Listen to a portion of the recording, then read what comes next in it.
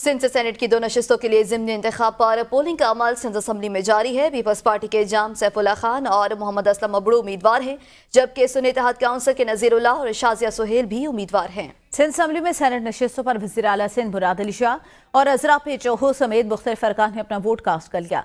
हमारे नुमाइंदे अब्दुल कदीर राना से मसीह जानते हैं। जी कदीर बताएगा क्या अभी तक पोलिंग का अमल खत्म हो चुका है? कब तक काउंटिंग शुरू हो जाएगी नशस्तों पर?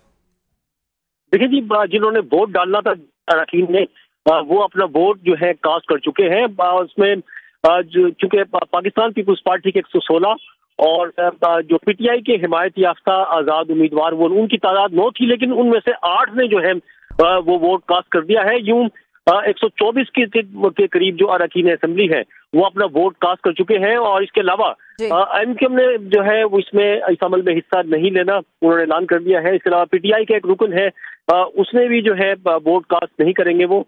और तो इस तरह जो है अब जिन अरकान ने वोट कास्ट करने थे वो तकरीबन कर दिए हैं। लेकिन चूँकि पोलिंग का जो वक्त है वो चार बजे का है तो चार बजे जो है ये, पोल ये उसके बाद जो है गिनती शुरू होगी। चार बजे के बाद, बाद गिनती शुरू होगी। शुक्रिया अब्दुल कतीर